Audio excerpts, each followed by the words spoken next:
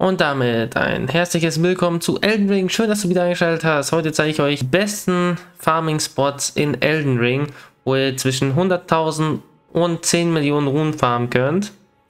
Und falls euch das Video gefällt, lasst mir doch gerne ein Like da. Ein Abo wäre auch schön. Und würde ich sagen, fangen wir gleich an.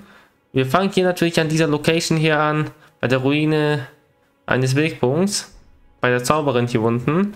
Denn wie der ein oder andere weiß, gibt es hier unten eine Karawane und die kann man hier natürlich ganz easy ausschalten. Also würde würd ich natürlich hier den Anfängern von euch empfehlen. Ihr könnt natürlich diese Blumen hier auch wegmachen, denn für den Anfang braucht man hier natürlich jede Rune, die man kriegen kann. Und falls ihr auch hier Bild sehen wollt, wie Zauberbild oder Blutbild, da schreibt mir gerne unten in die Kommentare, lasst es mich wissen, dann kann ich euch dazu auch mal ein Video machen. So, hier vorne haben wir auch schon unsere Gegner. Hier fängt auch schon unsere Farming-Route an. Und zwar, wie immer, Freunde, diese riesen Trolle hier ausschalten. Die geben uns 1200 und für den Anfang ist das recht viel. Ah, ihr müsst halt natürlich, euer größtes Problem wird hier dieser reitende Typ da sein, auf seinem Pferdchen. Aber wenn ihr den da ausgeschaltet habt, sollte es eigentlich übelst einfach sein. Außer ihr stellt euch gerade so an wie ich. So, den hätten wir auch. Ja, seht ihr, der gibt euch auch nochmal 1200 und hier solltet ihr auch durch, durch die kleinen Gegner 10.000 Ruhen pro Run rausbekommen. Also ich würde euch empfehlen, hier diese ganzen kleineren Gegner hier auszuschalten und die, wo da hinten an der Steintafel da stehen auch.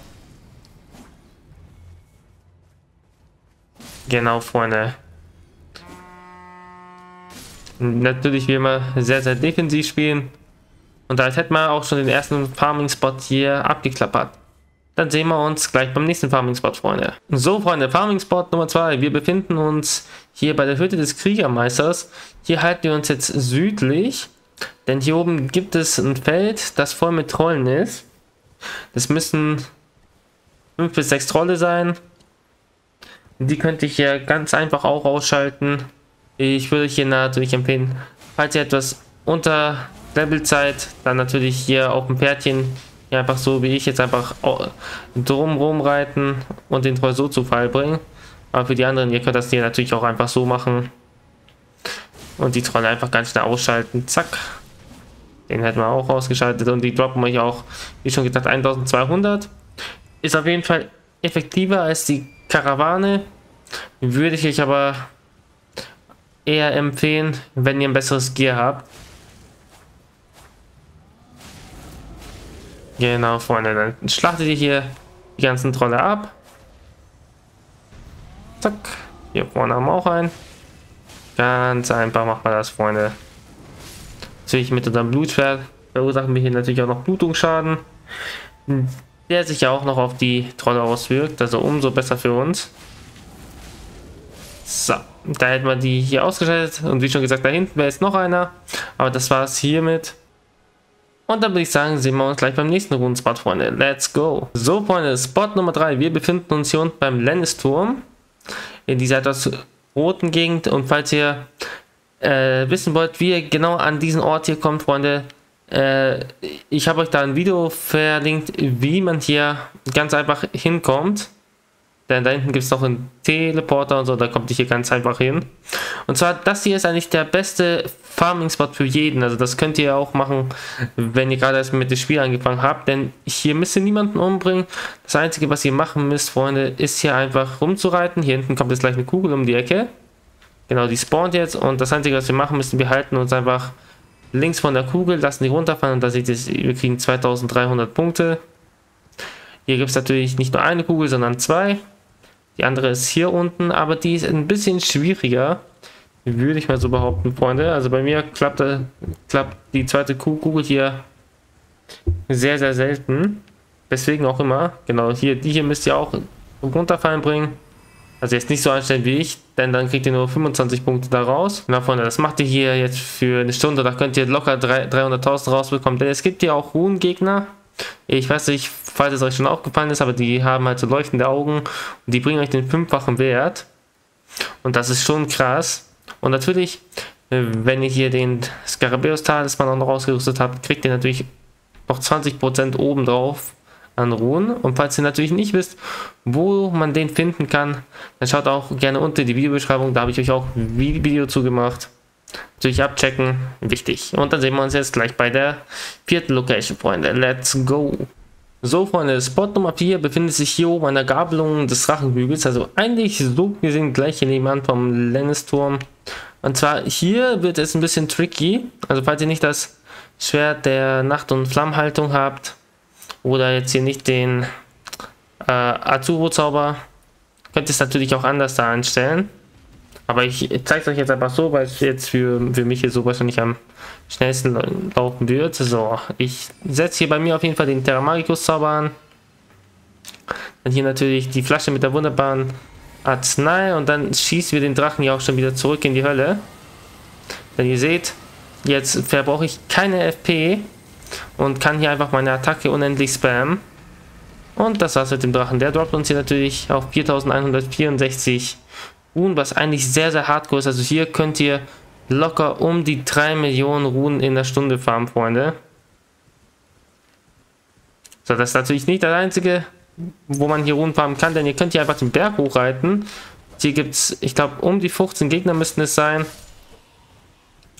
Und die droppen euch hier je 1354 Ruhen, was eine Menge ist, pro Gegner. Und ich würde euch auch empfehlen, hier sehr, sehr defensiv zu spielen, also nicht aggressiv. Denn falls die euch hier einmal in ihren Fängen haben, dann wird das sehr, sehr schwer, die auszuschalten, wie in meinem Fall jetzt hier. Ihr seht, folgen mich jetzt hier. Aber ich bin ja hier schon Pro in dem Game. Das macht mir hier nichts aus. Zack, den machen wir auch weg. Genau, und da seht ihr, Freunde. Unsere Ruhen steigen einfach in so einer Messliche. Wir werden einfach rich. So, okay. Hier müssen wir noch mal ein bisschen defensiver spielen. So, die natürlich angreifen lassen, falls sie euch angreifen wollen. Dann einfach zurückweichen. Ups. Nein. Uah.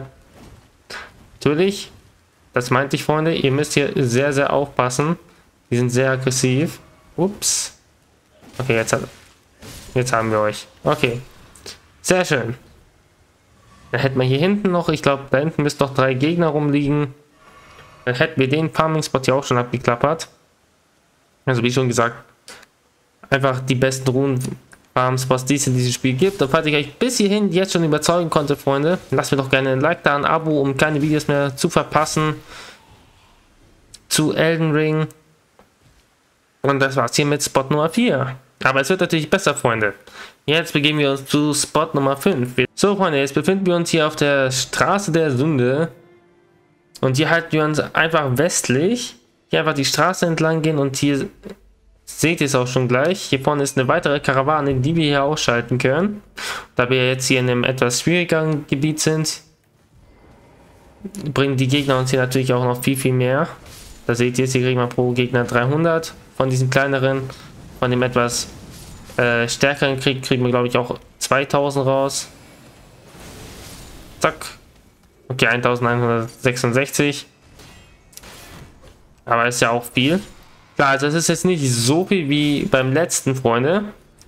Denn da war es ja schon übelst krass. Also was wir da pro Gegner rausbekommen haben und dann beim Drachen töten. Aber ich dachte mir, ich mache das jetzt einfach mal hier so, wie es auf der Karte halt abgebildet ist, erstmal von unten nach oben.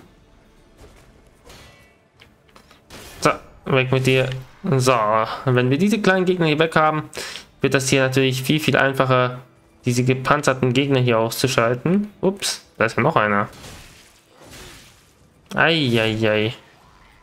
Sind ja überall. Okay, so, ich würde mal sagen, wir verwenden nochmal den Zauber hier. Zack, trinken unsere Arznei und jetzt ballern wir hier einfach los. Zack. Und dadurch löchern wir beide. Ah, okay, jetzt hat man den einen dann nicht mehr. Schade.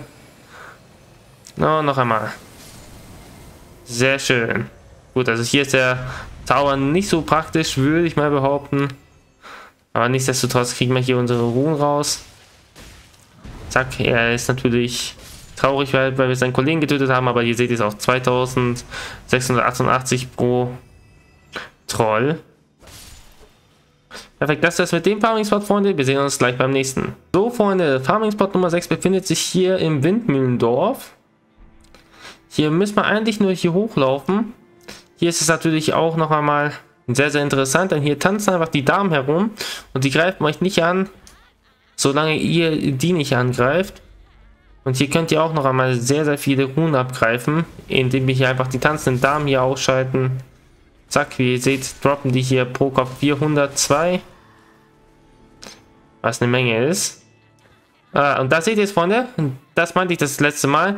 Es gibt Gegner, die haben diese Runenaugen und die geben euch einfach viel, viel mehr Runen. So, dann würde ich sagen, gleich mal einfach die hier schnell weg. Zack. Da seht ihr es, Freunde. Die haben uns aber den fünffachen Wert jetzt gegeben. Und für die beiden haben wir jetzt einfach 2000 bekommen. Zack. Die machen wir jetzt weg. Und das hier ist halt auch eine der schnelleren Runenfarm-Methoden, Freunde, weil die hier einfach nur hochlaufen müsst. Die 3 da wegmachen und dann hier die, keine Ahnung, 10 da wegmachen. Und dann haben wir es eigentlich. So, und jetzt kommen wir natürlich zum Highlight, Freunde.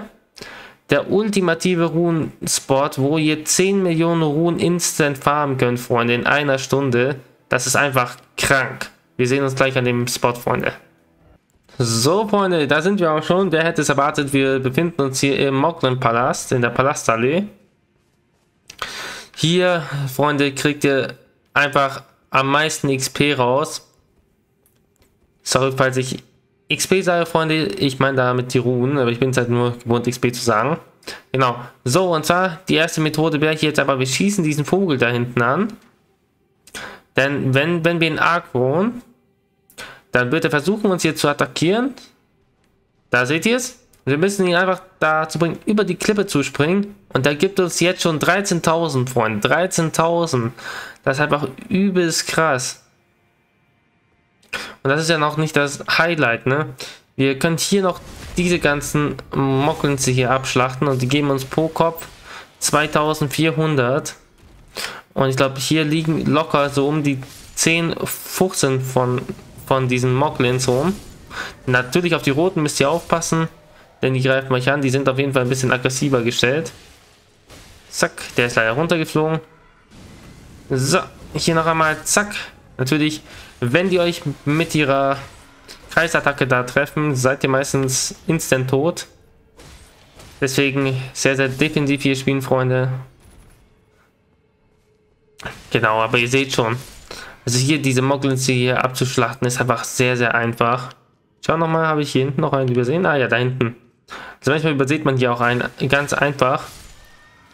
Weil die einfach da rumsitzen und aussehen wie Leichen. So, aber das hier ist natürlich noch nicht das Ganze hier vorne an der Hauptstraße. Also ihr könnt hier natürlich nur diese hier äh, töten und den Vogel. Also wie schon gesagt, der, der Vogel, der bringt euch einfach am meisten. Zack, hier natürlich die Patrouille hier auch noch ausschalten. Und dann gibt es hier natürlich noch den letzten Spot, Freunde. Folgt mir einfach runter. Wir müssen hier einfach den Weg runterreiten. Und dann gibt es hier hinten einen riesigen Baum und da laufen diese Mocklinze im Kreis herum. Und falls ihr das richtig anstellt, also falls ihr auch das Schwert hier habt, dann könnt ihr einfach so einen perfekt platzierten äh, Hieb in die Masse da reinschießen und gleich mehrere auf, auf einmal ausschalten. Ich habe es hier leider nicht geschafft. Das ist natürlich der Vorführungseffekt, Freunde. Ihr kennt ihn wahrscheinlich selbst falls ihr in der Schule irgendwas vortragen müsst oder so. So, jetzt hat er aber. Da kommt der der Spieß. Wow. Der kommt aber von hinten. Eieiei. Okay, gut, das hat jetzt nicht so geklappt, wie ich es mir vorgestellt habe. Zack. Aber ihr könnt die hier natürlich auch einfach so abschlachten. Und äh, wenn ihr die hier am Abschlachten seid, werdet, werdet ihr hier wahrscheinlich auch noch deren Waffen farmen. Ja, da seht ihr es. Der hat mich aber hinterhältig überrollt. Und die ist eigentlich auch gar nicht mal so schlecht, ne? Also ihr könnt ihn natürlich auch verschabeln für Ruhen. Ich habe davon, ich glaube auch mindestens 10 im Inventar.